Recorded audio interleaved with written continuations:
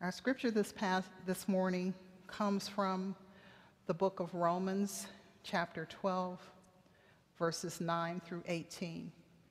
Listen, hear, and receive God's word for us.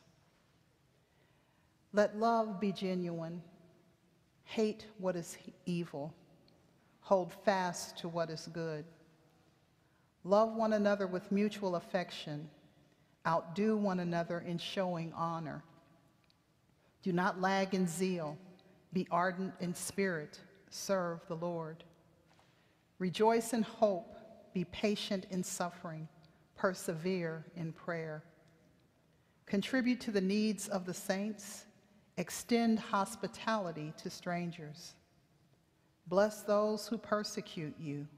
Bless and do not curse them. Rejoice with those who rejoice. Weep with those who weep. Live in harmony with one another. Do not be haughty, but associate with the lowly. Do not claim to be wiser than you are.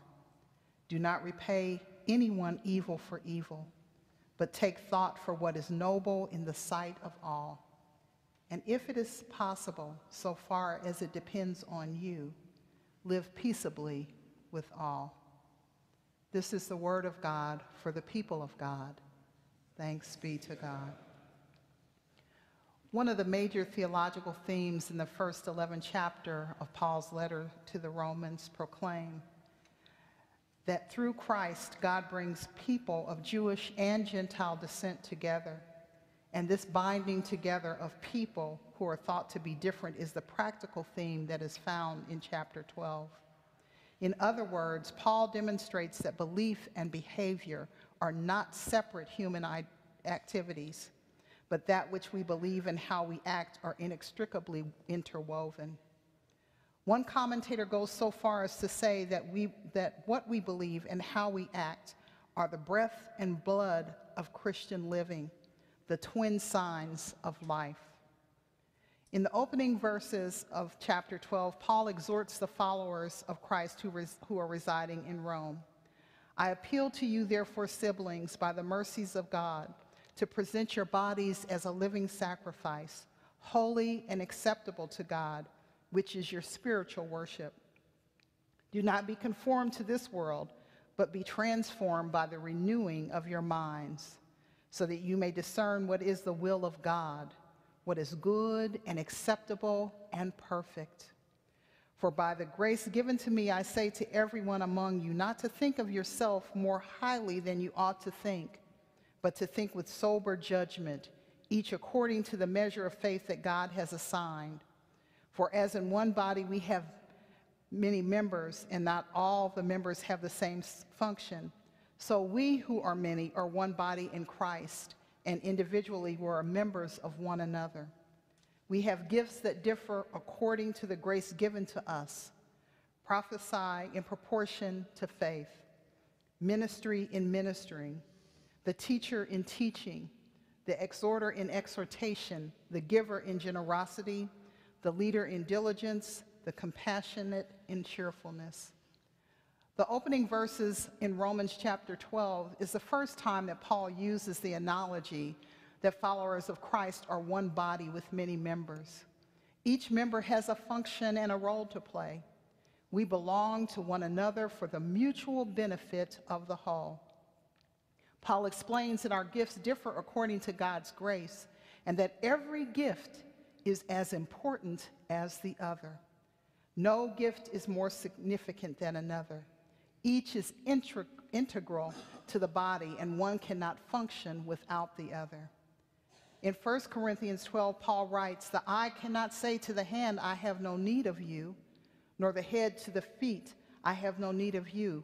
On the contrary, Paul continues, the members of the body that seem to be weaker are indispensable, and those members of the body that we think are less honorable, we clothe with great honor.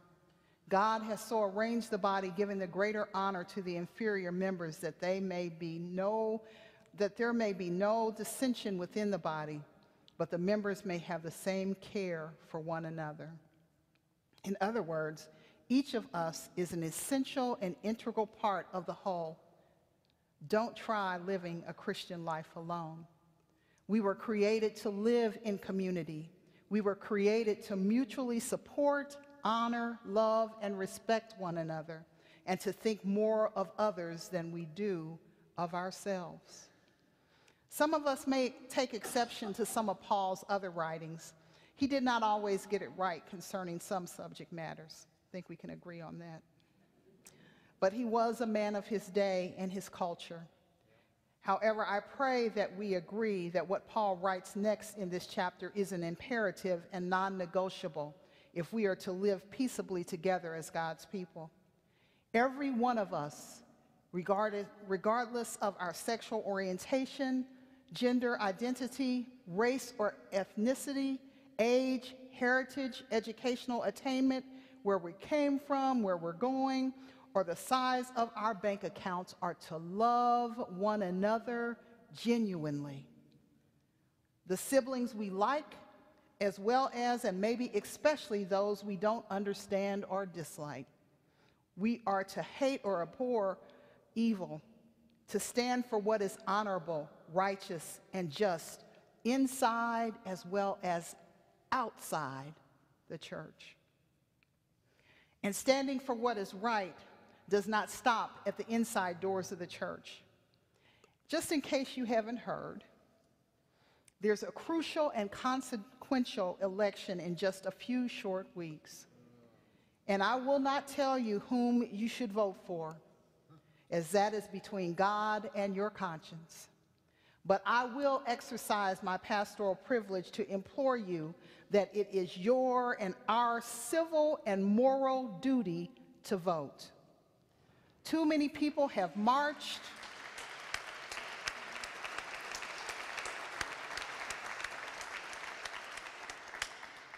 Too many people have marched, been beaten, and laid down their lives that some of us, women and people of color in particular, would have the right to cast a ballot to determine the leadership of this country. And regardless of who wins or loses, you have no right to complain about the outcome if you do not cast a ballot. Now back to Paul,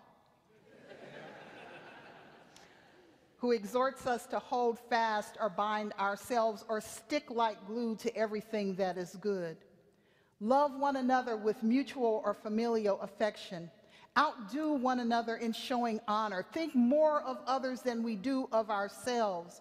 Do not lag in zeal or diligence. Always be ready. Be just like hot water, not lukewarm, because God will spew you out of God's mouth when you are neither hot nor cold. Amen? John writes that in the book of Revelation. And Paul encourages us to be ardent, passionate, devoted, and dedicated in serving the Lord. These are the true marks and indicators of faithful followers of Christ. And when we encounter obstacles, and beloved, those obstacles will come, for this is the reality of living in this world. We are to rejoice in hope, faith, and trust in God. Because, siblings, in the words of the hymnist, our hope is built on nothing less than Jesus' blood and righteousness. One commentator writes The circumstances of the believer may not warrant rejoicing. The contrary may be true.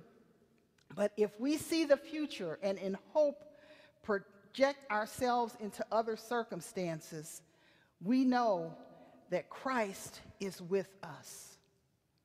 When in Christ Jesus we recognize that this is not all there is, we recognize that we inhabit a liminal space of already and not yet. We recognize the hope of the is the substance of things hoped for. Faith is the substance of things hoped for and the evidence of things not seen. One commentator shared the story of attending a church service where members were reciting their favorite Bible verses. And one man stood up and said that his favorite verse was, It shall come to pass. Everyone looked a little puzzled. And then the pastor stood up and asked, How can that be your favorite Bible verse? To which the man replied, When I have troubles and problems, I like to read that verse and they'll know that my trouble or my problem has come to pass. It hasn't come to stay. The psalmist said it a little bit like this Weeping may endure for a night. Hallelujah.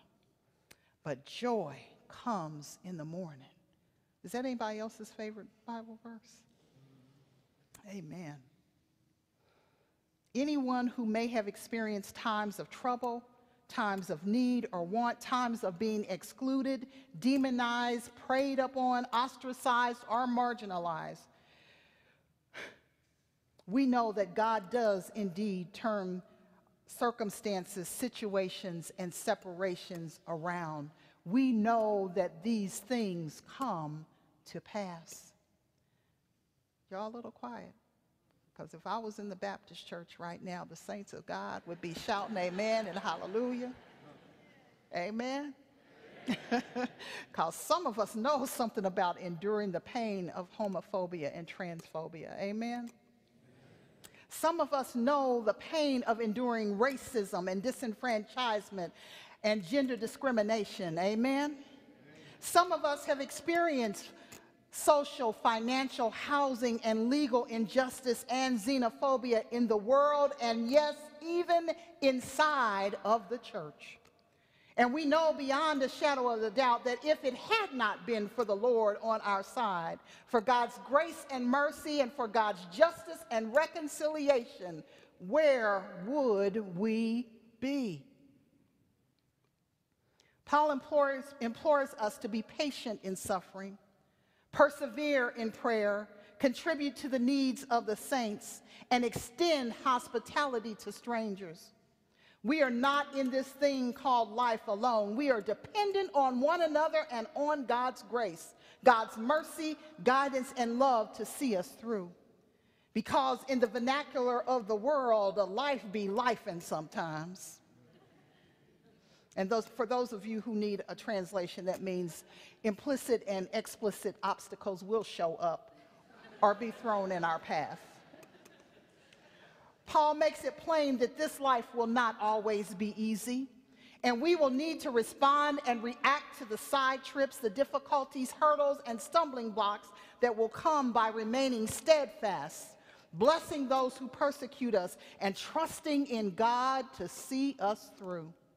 Paul says, do not try living in Christ alone. In harmony with, live in harmony with one another. And if you have anything against someone, go to them, have a discussion with them, and work it out in Christian love. Do not be haughty, inaccessible, unapproachable, or distant, but associate with the lowly. And do not claim to be wiser than we are. If Jesus, being in the form of God, emptied himself and took on the form of a servant, humbled himself and became obedient to the point of death, who do we think that we are and that we are better than, above others, or can look down on anyone or are wise in our own strength? The Reverend Susan Crowell writes that God is reshaping and restructuring our lives around God's grace and love so that we can reshape and restructure the world around God's grace and love. God is transforming us for the sake of the world. It is up to us, people of faith, to enable the world to see and understand the value of every human being. God loves, honors, values, and celebrates all of humanity. This includes, she continues, marginalized populations, the mentally ill, immigrants, the LGBTQIA plus community, the poor, the hungry, the homeless. This includes, she says, people of other faiths, Jews, Hindus, Muslims, and Buddhists. God loves, honors, values, and celebrates all of humanity. And she con concludes, our calling is to help the world see the value in every human being and to strive for peace and justice for every human being around the globe. End of quote. On this full inclusion Sunday, and again, I must clue you in, every Sunday is full inclusion at East Liberty Presbyterian Church.